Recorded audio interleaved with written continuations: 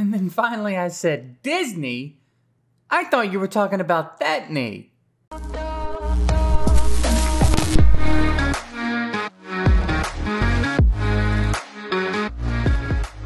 We are here with the long overdue beginner guide for Disney Sorcerer's Arena. If you've been around my channel for a minute, you've heard me mention this game several times. I have been playing it for a little bit.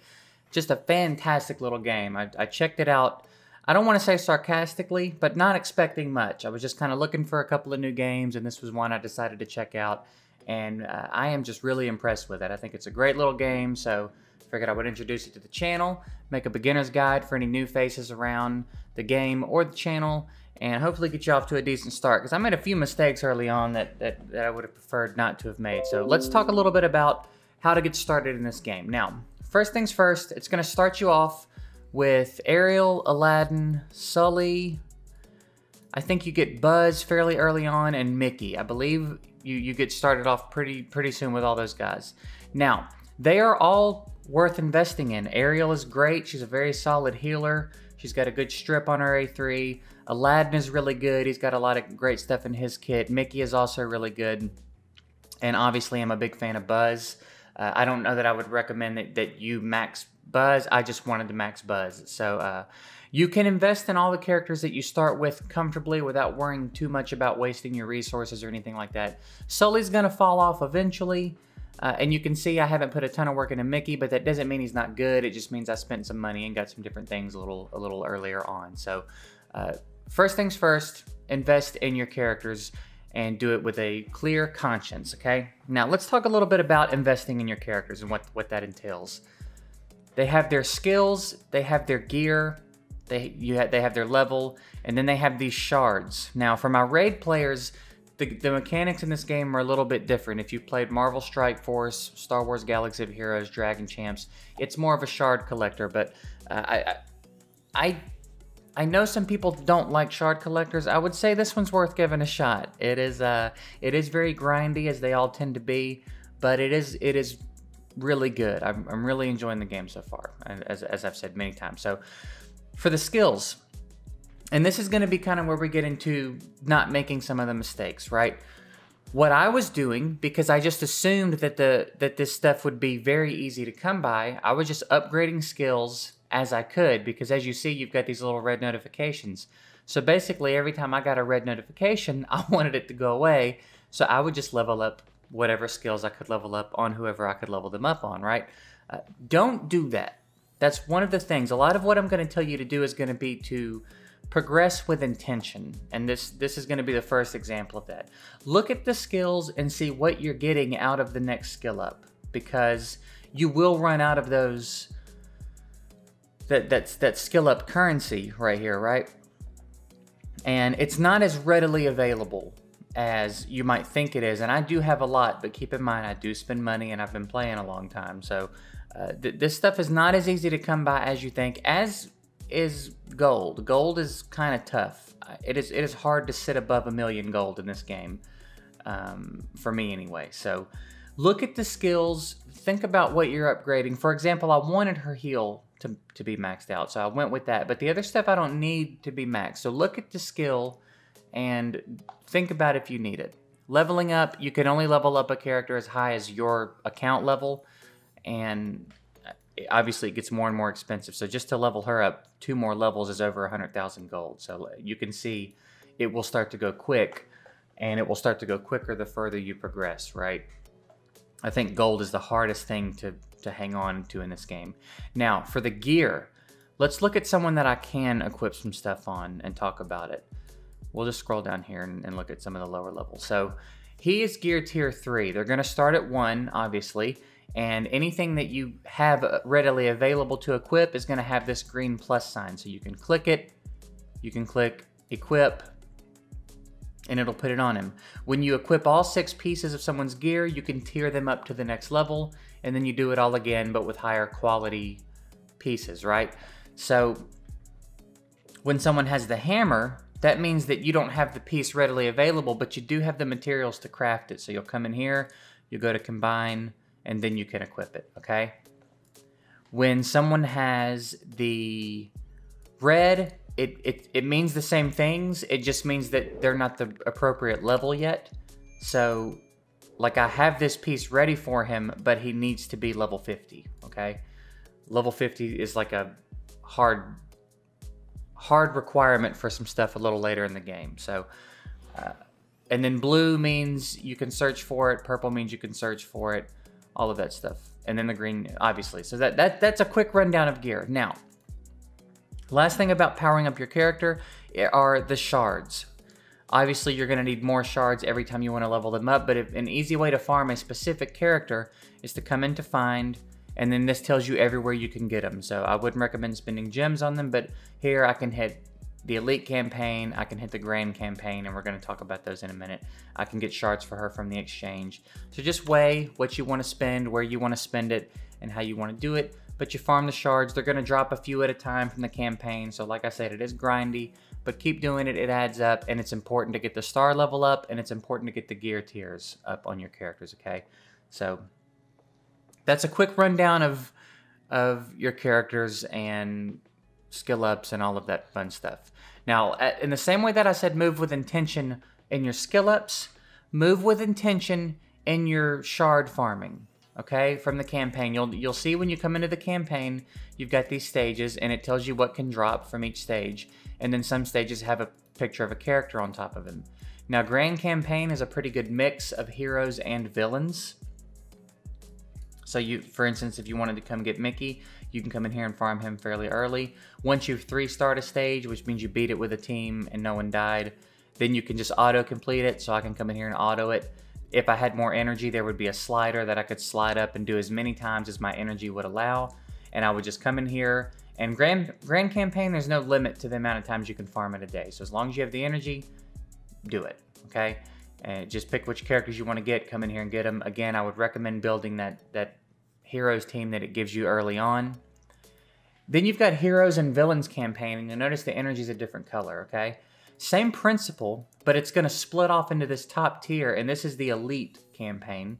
And again, you just come in here, and this is where you can get shards, and it's going to limit you to how many times you can do this per day. So, you know, my energy will only allow, but it, I think it's four. It, it, lets you do four on each node uh, where you can get shards, and then you can refresh if you want to do more with gems. Down here, I don't believe there is a limit. So the Heroes campaign has villains nodes, even though they've kind of started adding some some different stuff lately. But typically, it's been Heroes Campaign has villain nodes, and Villain Campaign has hero nodes. Hero Campaign, you can only bring heroes in. Villain Campaign, you can only bring villains in. So uh, we'll talk a little bit more about a, a villains team for you to get started with a little later in the game. Right now, it's just it's just kind of getting started. So uh, don't go in here and just jump around and farm random characters all over the place. M move with intention, right? Anytime you're farming shards, move with intention. I recommend getting your Mickey shards, getting your Ariel shards, getting your Aladdin shards, working on that for now, okay? Eventually, you're going to start to think a little bit more about team synergy and all of that stuff. But for now, build your heroes team, build them intentionally, okay? Moving on to the next tip. You'll notice there's two things I want to show you. In your store, if you come to this tab and scroll down, you have this ad chest. You can want you can get 10 of them a day, okay? Now I know th this is something you would do as a background task, right? So you start the ad, go about your business, collect your reward, start the ad. It seems very tedious, but 2 gems per chest guaranteed. That's 20 gems a day, okay? Over a month, that's 600 gems roughly, right?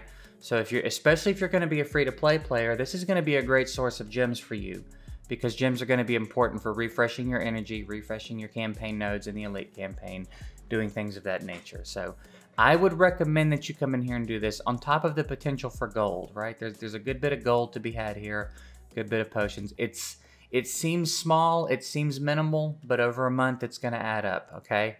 So that's the first free chest you can do. The next one is in your dailies, you will have this watch an ad and get three gems.